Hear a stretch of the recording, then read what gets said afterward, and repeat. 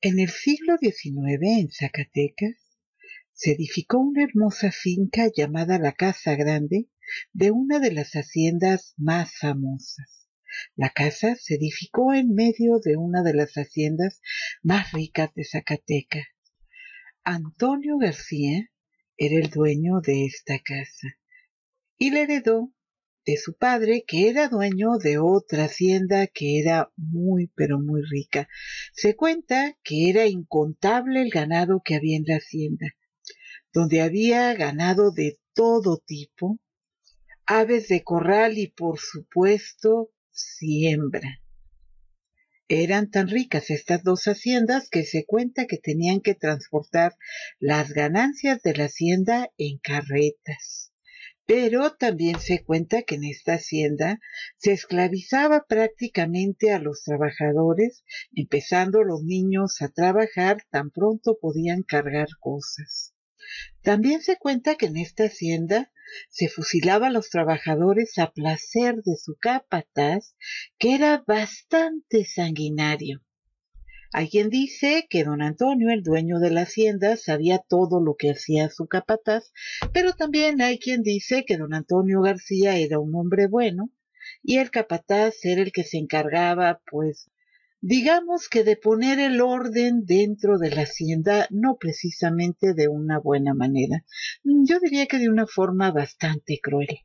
Se cuenta también que esta casa tenía túneles que comunicaban a otros lugares. Incluso se decía que se comunicaba la hacienda del padre de don Antonio y la de él por medio de túneles y túneles que llevaban también al monte y a caminos por donde transportaban precisamente lo que se les pagaba por el ganado, lo que vendían de granos, etcétera. De manera que don Antonio García era sin duda no solamente uno de los hombres más ricos de Zacatecas, también era un soltero muy codiciado debido justamente a que tenía una gran fortuna. Y no era mal parecido, cuentan por ahí que era un hombre muy bien parecido. La casa grande es llamada la Casa de las Cien Puertas, pero si van hasta Zacatecas, visitan este lugar y cuentan las puertas, se van a dar cuenta de que solamente hay 99. Así que si quieren saber por qué es la casa de las cien puertas, a correr por las galletas y a ponerse la pijama, porque aquí comenzamos nuestra noche de leyenda.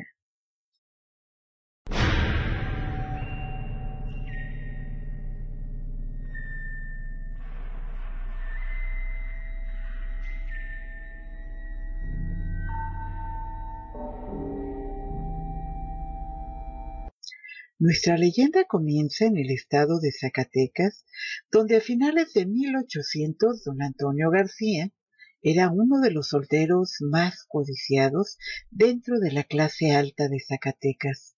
Sin embargo, él no sentía prisa alguna por dejar la soltería, y aunque tenía un gran gusto por las mujeres, él prefería tener muchas y no solamente a una. Sin duda, don Antonio García, pues era un hombre de negocios. Como ya les comentaba en el intro de nuestra leyenda, en su hacienda no solamente había miles de cabezas de ganado, también creaba caballos, sembraba y pues era muchísimo el dinero que tenía este señor, pero no tenía excusa.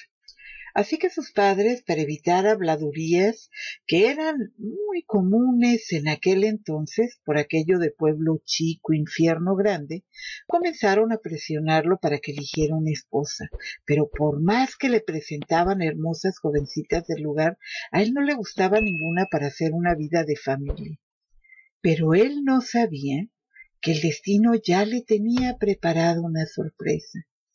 Tratando ganado fue a dar a la hacienda de la Sauceda, una de las más ricas y hermosas de Jalisco, donde conoció a las hijas del dueño de la hacienda, y una de ellas lo dejó fascinado.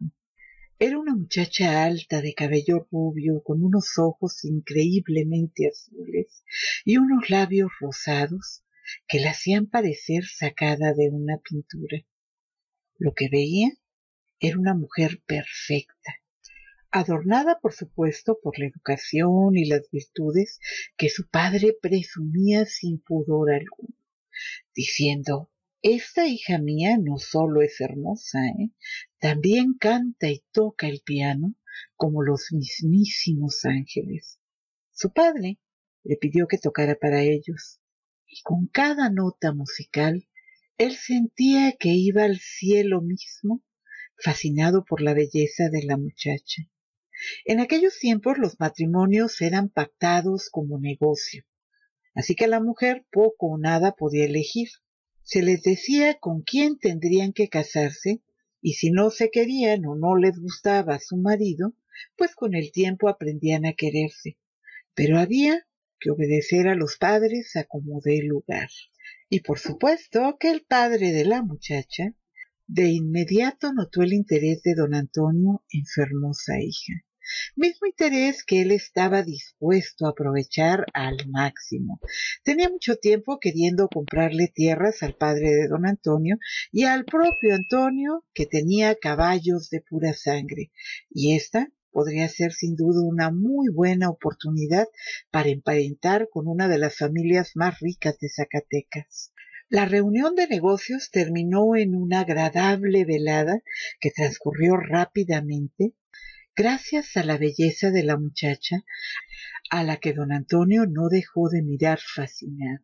La señorita de la Sauceda se había robado el corazón de don Antonio.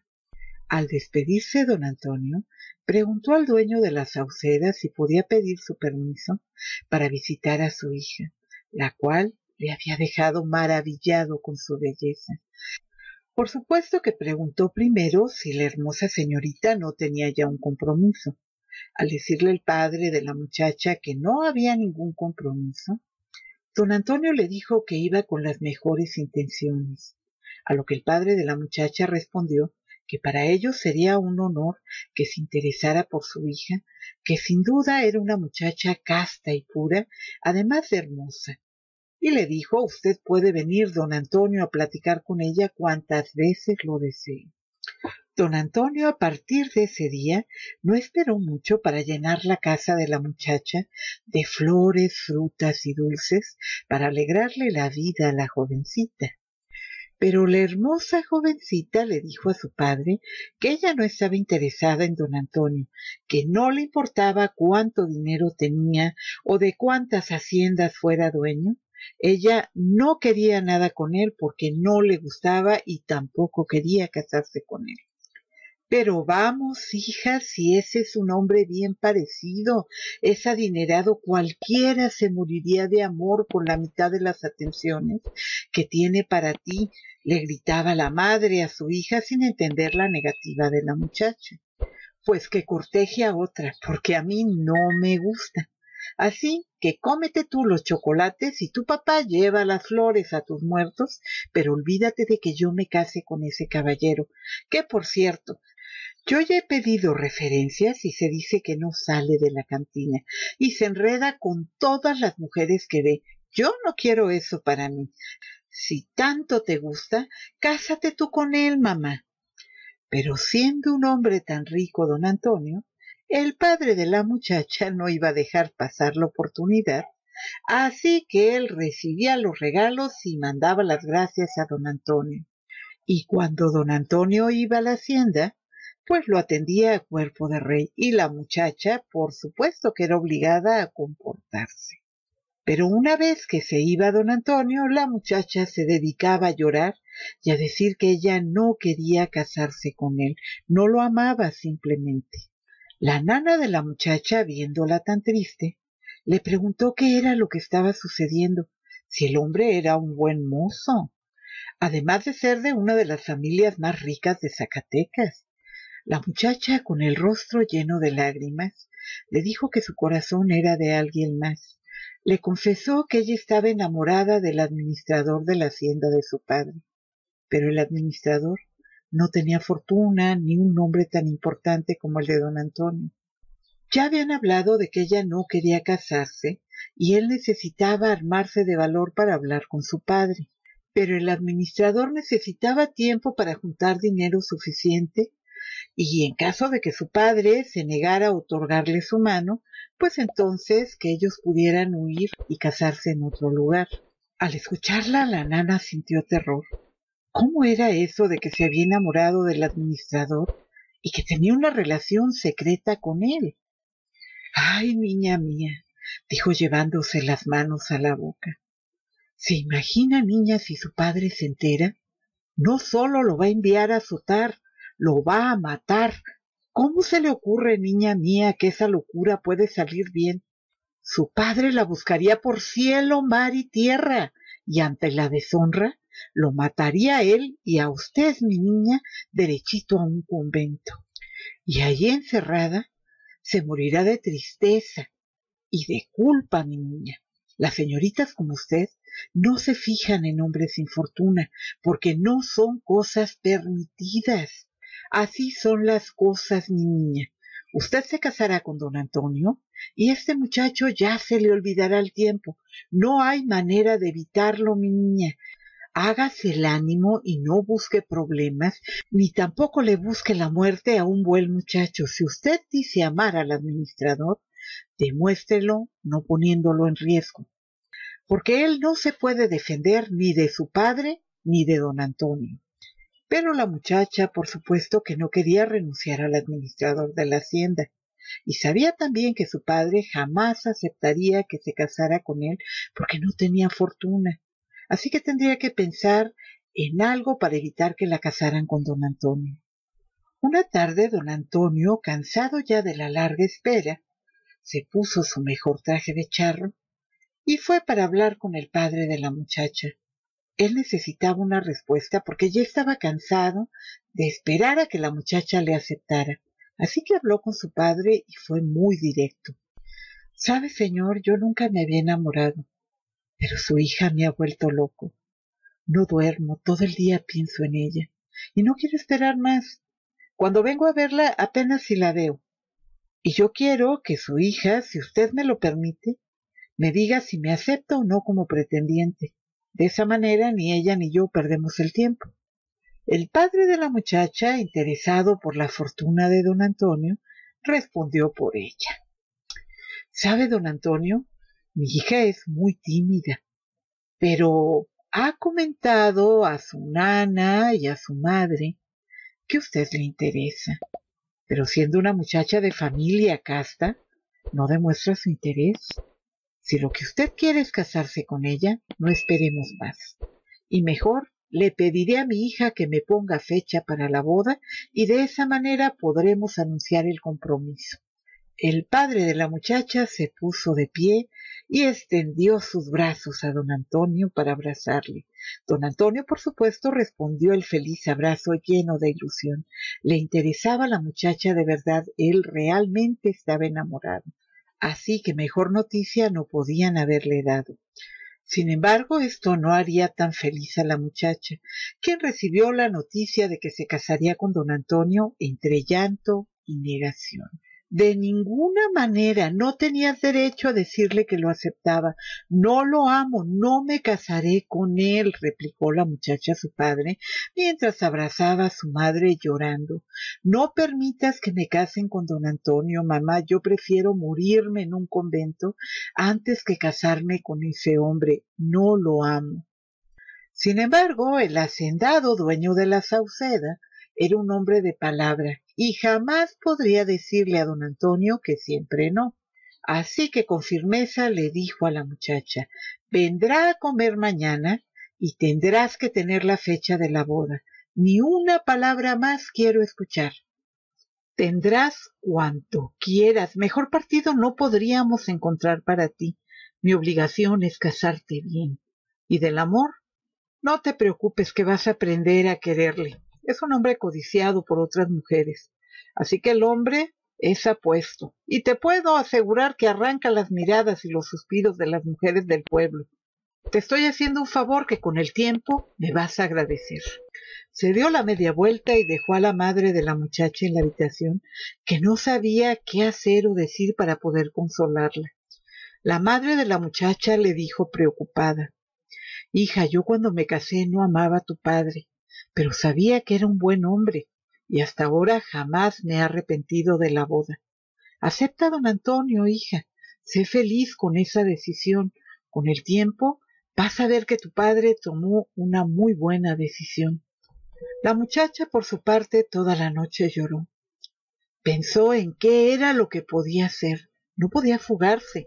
El administrador de su padre no tenía los medios para huir con ella. Además, que si los descubrían, su honor y el de la familia iban a quedar manchados para siempre. Ella tenía que pensar en algo para salir de ese compromiso que ella por supuesto no quería aceptar.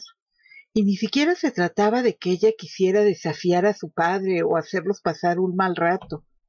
Era que su corazón ya no le pertenecía. Y además de esto era correspondida por el administrador. Así que ella en lo único que pensaba era en que tenía que hablar con él. Pero lamentablemente cuando habló con el muchacho, él solo le dijo que hiciera lo que su padre le decía, porque él no podía hacer nada de momento. Le dijo que necesitaba tiempo para poder tener suficiente dinero para huir juntos, y en ese momento, pues él no tenía dinero. Ella no dijo una sola palabra. Se dio la media vuelta y mientras caminaba pensaba, cobarde, ¿por qué no habló con mi padre? Renegó de él, pero en el fondo sabía que en aquel entonces un hacendado era dueño de las personas, no sólo de la tierra, y su terquedad podría llevar a su padre a hacerle detener acusándolo de robo o peor aún, de matarle. Nuevamente toda la noche pensó qué podía hacer. Su amor le pedía tiempo, pero su padre le pedía una fecha para la boda.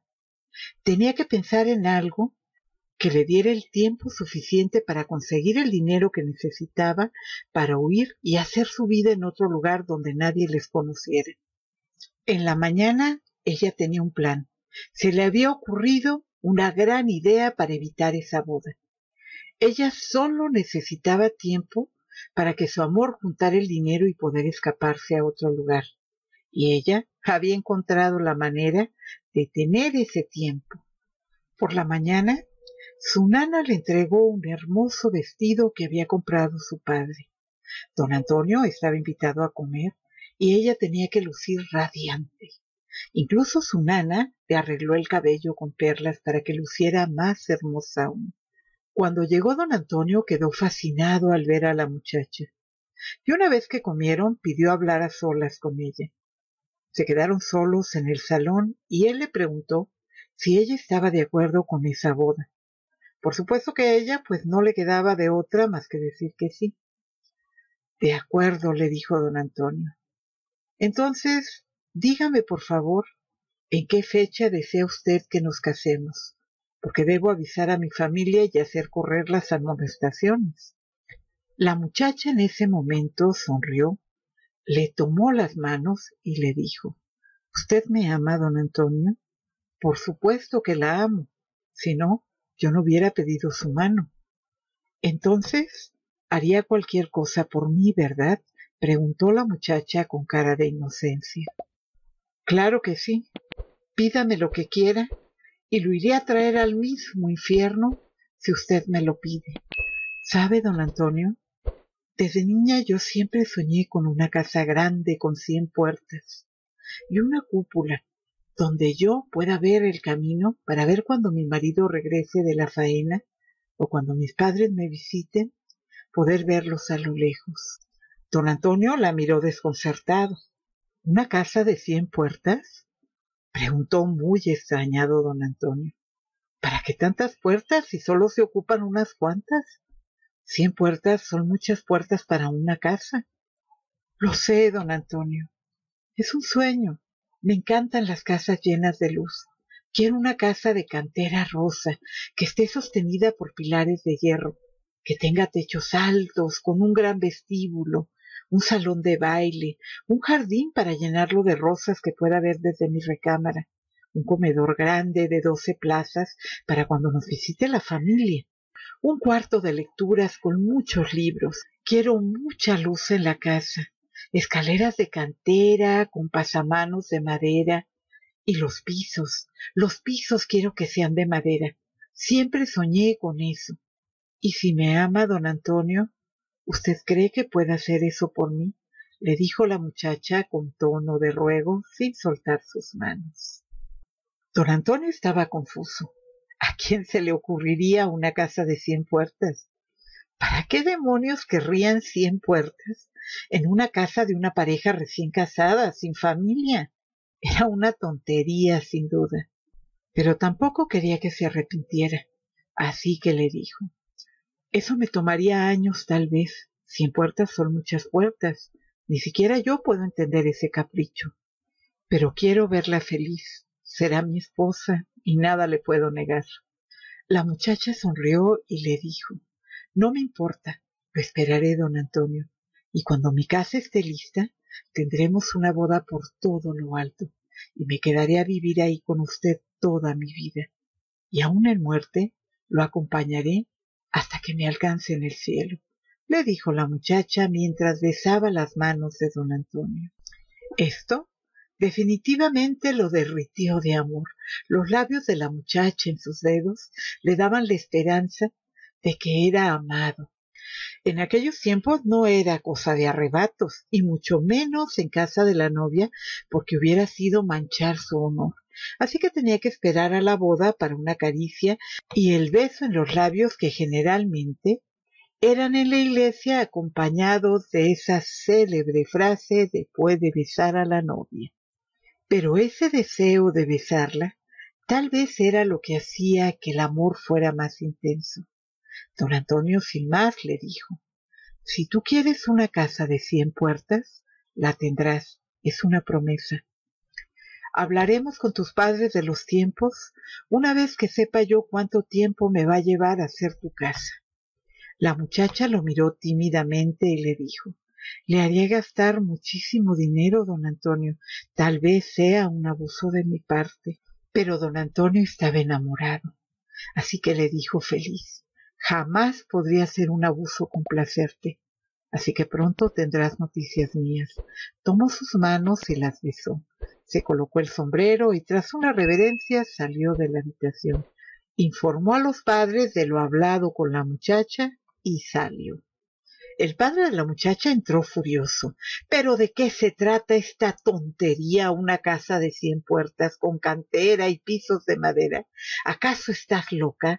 Eso es una tarea imposible, le tomará años. Eres una desquiciada. Mañana mismo hablarás con él y le dirás que quieres casarte ya mismo.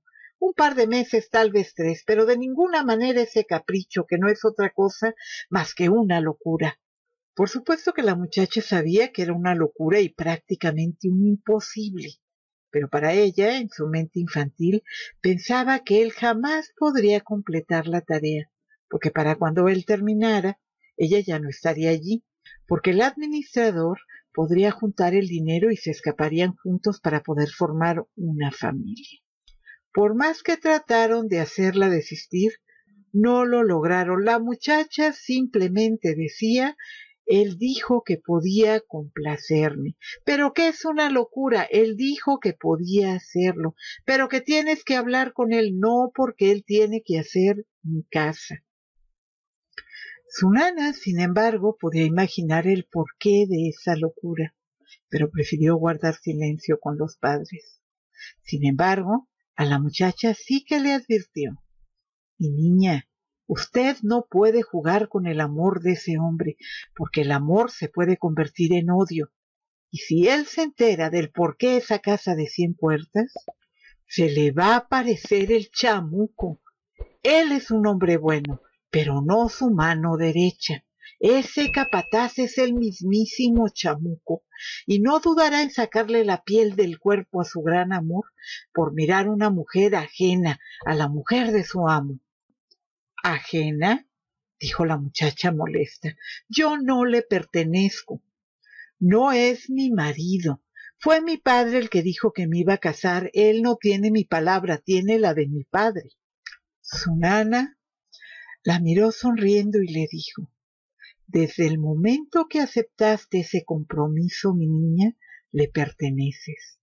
Existe allí una promesa de matrimonio y esas no se rompen fácilmente. ¿Qué error has cometido, mi niña? olvídate del administrador y no lo metas en problemas arriesgando tu vida y la de él. Igual, Nana, respondió la muchacha. Don Antonio no podrá construirla. No como yo le dije que la quería. Además, cien puertas son muchas puertas. Imagínate el tamaño que tendría que tener la propiedad. Eso sería una mansión, no una casa grande. Descuida, Nana, y no te preocupes, que no va a poder hacer la casa, al menos no como yo se la pedí. Y ahí él estaría incumpliendo su palabra y se terminó el compromiso. Pero la muchacha no dimensionó sus palabras ni sus acciones, y sin duda conocía muy poco a don Antonio y desconocía que el poder del amor llevan a un hombre a hacer posible lo imposible. Mientras que el administrador del padre de la muchacha veía imposible juntar el dinero suficiente para escapar, para don Antonio no había imposibles. Y si el tener una mujer que amaba le costaba hacer realidad un sueño que parecía imposible, él estaba dispuesto a cumplir con ese capricho. Don Antonio al día siguiente que regresó, llamó a su capataz y le dijo que tenía que buscar herreros, carpinteros, canteros y toda la gente que necesitaba para edificar la casa grande. En el terreno, por supuesto que ya se tenía una casa grande, pero ahora sería más grande, un pequeño palacio para su reina. Estaba decidido a complacer a su futura esposa sin escatimar en gastos. Ordenó que todo hombre y mujer que pudiera trabajar tendría que trabajar en la construcción de la casa porque a él le urgía que estuviera lista lo más rápido posible. Don Antonio habló con sus padres para anunciarles que se casaría con una de las hijas del dueño de la saucera. Quería que fueran a pedir su mano. Se hizo una cena con las dos familias por todo lo alto para anunciar el compromiso de la muchacha y de don Antonio. Las dos familias estaban felices con la noticia y la muchacha fingía muy bien el amor hacia don Antonio, que por cierto no sentía. El tiempo pasó y una casa que le hubiera tomado muchos años levantarla a cualquier otro, a don Antonio le tomó solo cinco años, y con amor y buen gusto, don Antonio decoró y arregló ese pequeño palacio de cien puertas para su amor. Y mientras levantaba su pequeño palacio, cada día envió flores a su amada, yendo cada que podía al estado de Jalisco a visitar a su amada a la lujosa hacienda de la Saucena. Era muy feliz mientras caminaba orgulloso, llevando de su brazo a la muchacha. Pero esa felicidad estaba a punto de derrumbarse. Un día, estando la casa ya casi terminada, su capataz cuando regresaban a Zacatecas de ver a la muchacha, le contó lo que escuchó en la cantina mientras lo esperaba. Le dijo que en la cantina estaba el administrador de la Sauceda, que estaba muy tomado, y sin saber que él era su capataz, borracho dijo que él estaba enamorado y correspondido por la hija de su patrón, pero que ella iba a casarse con don Antonio García. Loco de celos, mandó a su capataz a traérselo. El capataz de la hacienda de don Antonio García tenía muy mala fama, como un hombre que siempre tenía sed de sangre. Todos le temían porque sabían que era un hombre sádico y malvado, aunque don Antonio, por supuesto, tenía la lealtad de este hombre. Y bueno, don Antonio poco o nada sabía de lo que hacía. Don Antonio solo quería saber del dinero, de la construcción de su casa, porque él sentía que se estaba haciendo viejo y quería tener hijos. Así que lo único que quería era terminar la casa y trataba de no prestar oídos a los chismes que corrían por ahí, pero que alguien dijera que estaba enamorado de su futura esposa no era cosa para dejarla pasar. El capataz regresó a Jalisco y esperó pacientemente con sus hombres a que el administrador estuviera solo. En cuanto tuvo ocasión, le pusieron un costal en la cabeza y lo subieron a una carreta. En aquel entonces las distancias eran largas a caballo, pero eso no le importaba con tal de obedecer la orden que le había dado su patrón.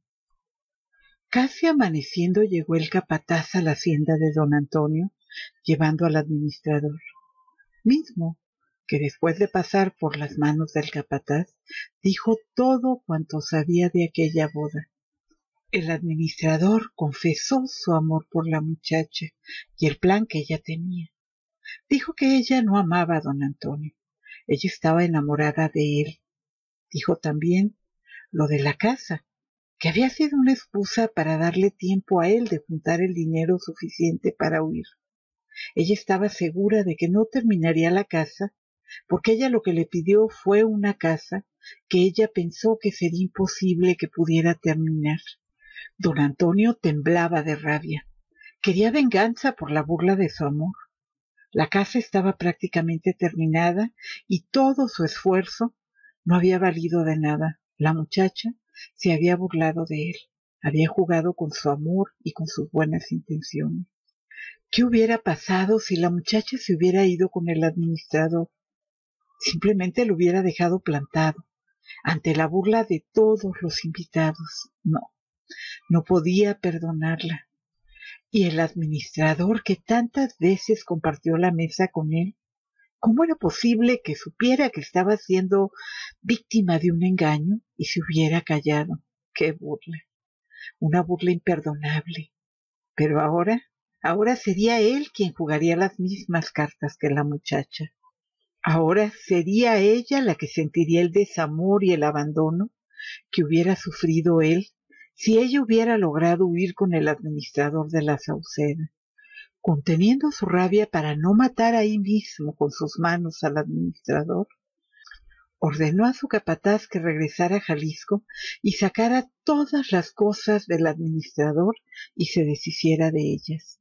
Al administrador ordenó que se le encerrara en uno de los cuartos que había en los túneles que pasaban por la hacienda y le dijo a su capataz, asegúrate de que no se muera, lo quiero vivo. El capataz, cumpliendo la orden de don Antonio, fue a Jalisco y sacó todas las cosas del administrador con ayuda de una bolsa de oro que le dio don Antonio para que repartiera a la gente que le ayudara. Del administrador no quedó rastro alguno. Nadie sabía a dónde podía haber ido.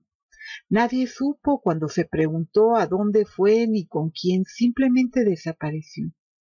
Pero al no estar sus cosas, era claro que había dejado el pueblo. La muchacha lloró sin parar por semanas. No podía creer que la hubiera dejado sin ningún tipo de aviso. Cierto era que la casa estaba muy avanzada, pero ella pensaba hablar con don Antonio con claridad con el tiempo le había tomado cariño y ella no quería traicionarlo, así que ella estaba dispuesta a terminar con don Antonio y romper el compromiso. Pero ahora que se había ido el administrador sin ella, no le quedaba más que casarse con don Antonio. Después de todo, ¿qué mayor prueba de amor podía pedir? Él hizo posible lo imposible solamente para complacerla. En cambio el otro simple y sencillamente se había ido del pueblo sin ninguna explicación. Por su parte, don Antonio ya había terminado la casa grande. Un pequeño palacio sin duda era todo aquello, con brillantes pisos de madera, tapices traídos de Europa, un jardín lleno de flores. Aquello era un sueño hecho realidad. Subiendo por una escalera se llegaba al techo de la casa, donde estaba una cúpula desde la que podía ver todo el camino tal y como lo quería la muchacha. Él había realizado el sueño de la muchacha, o por lo menos lo que le hizo creer que soñaba. Él ya había cumplido su promesa. Ahora solamente faltaba que ella cumpliera la suya. Pero don Antonio no perdonaba la burla. ¿Cómo era posible que después de amarla tanto, de sacrificar tanto por ella, ella solo quisiera abandonarlo, dejándolo en vergüenza delante de todo el pueblo.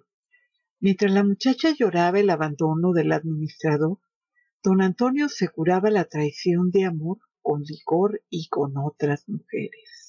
Don Antonio, cuando estaba borracho, pensaba que sería él quien cancelaría la boda después de exponerla ante todos los invitados pero después reflexionaba y pensaba que eso no iba a ser suficiente, así que mejor la mataría. Pero no, claro que no. Después ella iría a descansar y él se quedaría con esa rabia que le hervía en las venas. La mató y la salvó muchas veces en sus delirios. Él la amaba, pero no podía perdonar la traición.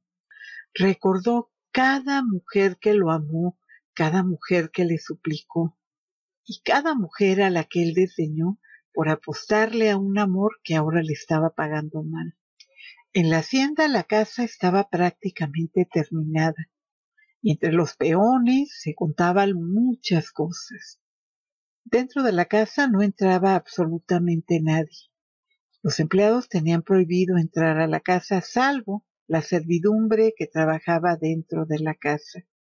Siempre cuando alguien iba a buscar al patrón, se quedaban en la estancia. Y, por supuesto, ahí mismo en la estancia estaba una puerta que era la que llevaba a los túneles. Pero jamás pasaban al segundo piso. Eran carretas llenas de plata y oro las que entraban y salían de la propiedad de don Antonio, pero siempre era a través de los túneles que estaban bajo la hacienda. Y también se contaban cosas perversas del capataz. Se decían que cuidaba muy bien el dinero de su patrón, así que su patrón lo dejaba hacer lo que él considerara necesario para poder mantener el orden dentro de la hacienda. Incluso se cuenta que ahí hizo una capilla para que su amada pudiera hacer sus oraciones. Pero se cuenta que la capilla era utilizada por el capataz. La utilizaba para confesar a los peones y después que éstos les decían sus pecados, él juzgaba y castigaba. ¿Cómo? Pues fusilando o mutilando. El capataz sin duda era un gran sádico. Y en la hacienda los peones le tenían pánico. ¿Por qué? Porque siempre se hablaba de los crímenes que cometía el capataz, que claramente no era un hombre bueno. Pero lo que sí era era el brazo ejecutor de don Antonio. Después de mucho pensar cómo se vengaría, y ya con la casa terminada, don Antonio fue por la familia y por la muchacha. Para llevarlos a la casa, él estaba orgulloso de la casa que había construido. La muchacha, por supuesto, estaba fascinada. Aquello que ella creyó que era un imposible, don Antonio lo había hecho una realidad lleno de lujos y de cosas hermosas, todos los detalles cuidados a la perfección. La muchacha entonces recorrió la casa contando las puertas y le dijo Don Antonio, esto es sencillamente hermoso. Quiero recorrer la casa si usted me lo permite. Por supuesto, le dijo don Antonio, esta es tu casa. La muchacha recorrió la casa contando las puertas. Quería estar segura de que realmente había cien puertas. La muchacha contó las puertas y le dijo, Don Antonio, son solamente noventa y nueve puertas. Y él, sonriendo, tragándose su orgullo, su rabia y su traición, le dijo, son cien, pero la puerta número cien será una sorpresa para ti. Ese mismo día se fijó la fecha de la boda, que sería tres meses después. La muchacha, a pesar de sentirse abandonada por el administrador, resignada trató de mostrarse feliz. Se comenzó a comprar todo para la boda se encargaron telas a Europa y hasta los cubiertos de plata que utilizarían el día del banquete. Todo tenía que ser perfecto. Pero faltando un mes para la boda, la muchacha desapareció de su casa. Una mañana, al despertar, la muchacha no estaba en su habitación. La buscaron por todos lados, por dentro y por fuera de la casa, y no había nada. Una vez que revisaron se dieron cuenta que faltaba ropa de la muchacha. ¿Pero a dónde se había ido? se preguntaban todos. ¿Y cómo le explicarían a don Antonio que la muchacha se había ido, que había huido, pero a dónde y con quién? Toda la hacienda de la Sauceda se movilizó por veredas y caminos tratando de encontrar a las muchachas. No hubo un solo lugar que no revisaran una casa en donde no se metieran los hombres de la Sauceda a revisar que no estuviera ahí la muchacha. El padre de la muchacha estaba desesperado, estaban solamente a treinta días de la boda y la muchacha acababa de huir. Tenían que encontrarla a como diera lugar. La nana de la muchacha, entre lágrimas, le dijo al padre de la muchacha que ella pensaba huir con el administrador y que cuando él se fue, Ella pensó que eso se había terminado, que se casaría con don Antonio y no pasaría nada más. Pero ahora todo apuntaba a que ella se había ido con él. La furia del padre fue total, quien no dudó en ofrecer una gran recompensa por el administrador, acusándolo de haberle robado. Vivo o muerto, dijo el padre, pero lo quiero aquí y quiero de regreso a mi hija. Mientras se volvían locos en la sauceda buscando a la muchacha, en la hacienda de don Antonio se escuchaban los sollozos de una mujer en uno de los túneles que estaban bajo la hacienda. La muchacha estaba muy asustada. En medio de la oscuridad, unas espuelas rompieron el silencio de ese lugar. La pálida luz de una vela apenas iluminó la silueta de don Antonio. Por Dios, eres tú, gritó la muchacha dando un salto para abrazarlo. Alguien me sacó de mi casa, tengo mucho miedo, sácame de aquí. Don Antonio se quitó los brazos de la muchacha con desprecio, arrojándola contra un muro. La muchacha no entendía nada, estaba confundida. Pero don Antonio le dijo con voz firme Me preguntaste por la puerta número cien. Es esta. Jamás pensaste en casarte conmigo. No fuiste sincera. Jugaste con mi amor, te burlaste de mí. ¿Por qué sencillamente no me dijiste que no me querías? ¿Por qué me dejaste construir todo esto si tú no estabas interesada en hacer una vida conmigo? Me siento traicionado, me siento desilusionado. Me has dejado una herida en el corazón que no va a sanar jamás. La muchacha no dejaba de llorar. Antonio, yo te juro que cambié de opinión Perdóname, por favor, cuando yo te conocí estaba enamorada del administrador de mi padre, pero después él se fue y yo me di cuenta de que mi lugar era contigo. Por favor, perdóname. La muchacha se arrojó a sus pies sin parar de llorar. Don Antonio la miró con desprecio y le dijo, ¿Conmigo? ¿Porque el otro se fue? ¿Porque te abandonó? No, pues fíjate que no. Con un hombre no se juega. ¿Pensabas dejarme en vergüenza? ¿No te importó lo que yo sentiría? Eres una mala mujer. Lástima que tu belleza no sea la misma de tu alma. La muchacha pedía perdón, pero él parecía no escucharla. Era más la rabia y el rencor y los celos que todo el amor que hubiera podido tenerle a la muchacha antes. Un silbido de don Antonio hizo que el capataz apareciera. Trae el regalo de las señoritas, dijo don Antonio. En ese momento se fue el capataz, quien regresó con una carreta. Don Antonio dejó caer a sus pies un petate. La muchacha lo vio con terror. El capataz sacó su cuchillo y rompió la cuerda que mantenía enredado el petate. Era el administrador con apenas un aliento de vida. Estaba mutilado, le faltaban partes del cuerpo y ya no tenía fuerzas para gritar ni ojos para ver que estaba allí la mujer que le había costado el peor de los tormentos. Al verlo, la muchacha gritaba horrorizada. Don Antonio, con voz firme, le dijo ¿Querías irte con éste? Pues ahora podrás quedarte con él para siempre.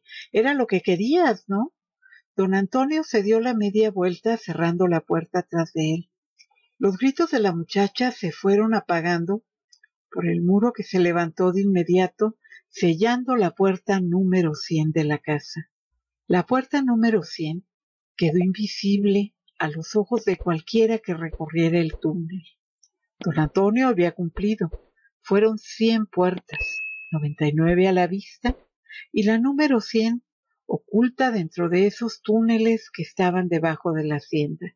Nadie podría escuchar los gritos de la muchacha, quien tendría la peor de las muertes en la oscuridad, muerta de hambre y de sed, enterrada viva al lado de su amor. Él no la abandonó. Eso fue lo que le hizo creer don Antonio. Sin embargo, él no pudo darle una sola palabra, ya que el capataz se había entretenido y ensañado bastante con el administrador. No solo le quitó los ojos, también le quitó la lengua.